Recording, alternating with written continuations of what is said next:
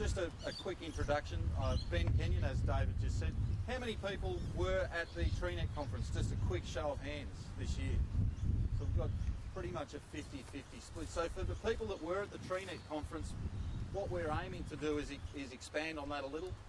Um, but for the people who weren't at the TreeNet conference, what we're hoping to do today, I guess, is is change the way we look at, at managing risk and managing trees in an urban environment.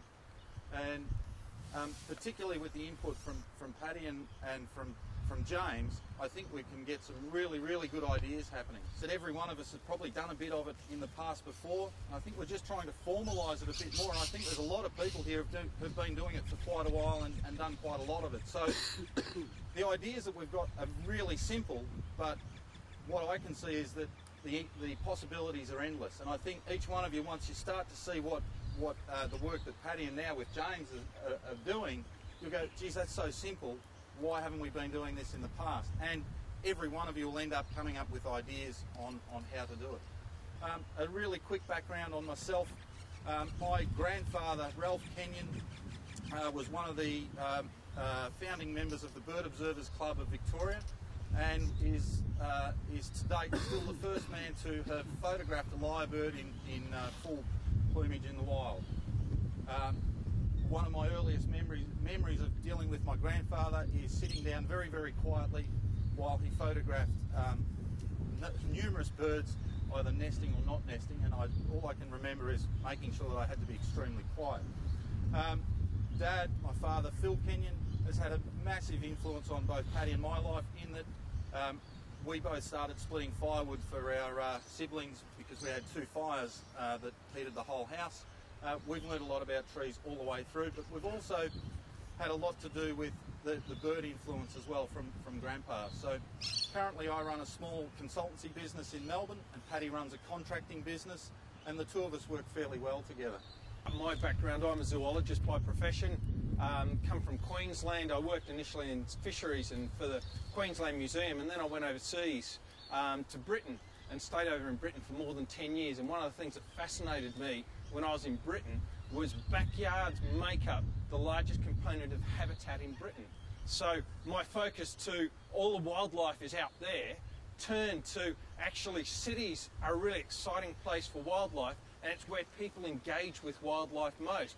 So I came back and started up a company fauNature which helps people attract and manage wildlife, particularly in urban and, and peri-urban environments. And we supply, amongst other things, nest boxes. But um, last year at the TreeNet conference, where we started talking about a tree is not an island; it is part of a whole ecosystem, and most of the um, biodiversity value across the landscape is actually in the 30 centimetres above and below the soil, but then goes all the way to the tops of the trees. And we need to stop looking at trees in isolation, but how they integrate in the whole um, landscape. And Ben is going to talk quite a bit more about that lately, uh, later on today. But what we I really bring is some measurement, the exact wildlife that uses these, and how they integrate across the landscape with the skills that both Ben and Pat are bringing to today. And I guess that's over to Pat. Yep. Um, my background basically came from, as well as Ben, a lot of firewood splitting. Um, I tended to branch off into the tree climbing area and became the Australian tree climbing champion twice and numerous ones in Victoria. And sort of, I'm pretty well stuck to the tree climbing and chainsaw operation side of things. And through the, the habitat or working for councils or contracting to a lot of councils and private properties, we, we tended to chop down lots and lots and lots of trees. And we got to the stage where we thought, well, what, what can we do with these trees rather than chop them down? And with skills as a chainsaw, I think we've come up with a, a really good method. And the more input we get off James, um, the better. But with saving some of these trees rather than risk or a hazard and, and taking them out, and I think we can retain a, a, lot more of them and also change their basically their basic knowledge or style of pruning to um, to hang on to and retain a lot more structure in some of these trees. And one of the one of the biggest reasons we, we often get called in is from a risk management point of view. And I think if you look at look at this sugar gum here, the Eucalyptus cladocalyx, I'll stick try and stick with botanical names so we don't get mixed up with uh, with common names. This Eucalyptus cladocalyx, where do they come from? South Australians? Yorke Peninsula. Yorke Peninsula, which is the Nana version, I'm pretty sure, but then the main one is in the Flinders Ranges. Kangaroo Um, and Kangaroo, sorry, Kangaroo Island, yeah. Um, so, is this typical for the species, Kim? Yeah. I, from, from the ones that I saw in the Flinders Ranges, I would have thought that this is far more multi-branch than, than what, would, what you would see in their natural environment. Yeah? They branch quite a lot. Um, I do suspect that these have been lopped at some stage in the past. And if you have a look at around about what, two, four, six, about eight to ten metres on nearly every tree, you'll see that there's a, a fairly decent uh, section of branches that, that originate there. There's an old wound over this side if you if you come around and have a look. And in the next tree back down, you can actually see the old the old cut through there. Now I don't I don't know whether they've actually been lopped, but given the decay that's in the trunks there, I suspect that they have been. If you translate this tree into a more higher use park, I would imagine that from a risk management point of view, we would have some issues for, for a number of reasons. Um, branch failure, uh, small branch failure, large limb failure, and in some cases whole trunk failure. And how often have you seen large trees like this removed from a risk perspective? And I think it is too often, and I think that's probably why we've started to have a change, and that is that from a from an arborist point of view, it's a really, really easy decision to make to say this tree is an unmanageable risk in the landscape, it needs to be removed. It's a far more difficult decision to say this tree has issues and I think we can still maintain it in the landscape. And one of the ways we've started to maintain and manage trees like this in a higher use landscape is not by pruning at all, it's by leaving the tree alone and it's by mulching out beyond the drip zone and starting to underplant with other, other, other species. So rather than treating it like an island as it is at the moment, start to get some mulch on the ground, get some small fabaceae, mimosaceae, so acacias, um, what else, hardenbergias, those sorts of things planted in underneath, dodonaeas, and all of a sudden the ground environment isn't hard compacted. The roots aren't competing with uh, grass for, for water and nutrients. In fact, you've got mulch, you then get fauna coming, soil fauna coming into the mulch. You'll get worms, you'll get small bugs. And then with the other plants, well, Mimosaceae and Fabaceae both fix nitrogen from the air into the soil. So it's a very, very happy relationship that occurs. And quite quickly, we've discovered that human beings, for some reason, don't like to sit on mulch or walk through plants that are fairly prickly on occasion. So all of a sudden, if you were to put a, uh, if you were to put this in a high use park, the tree's still in a high use park, but is starting to become part of a plant community rather than an island.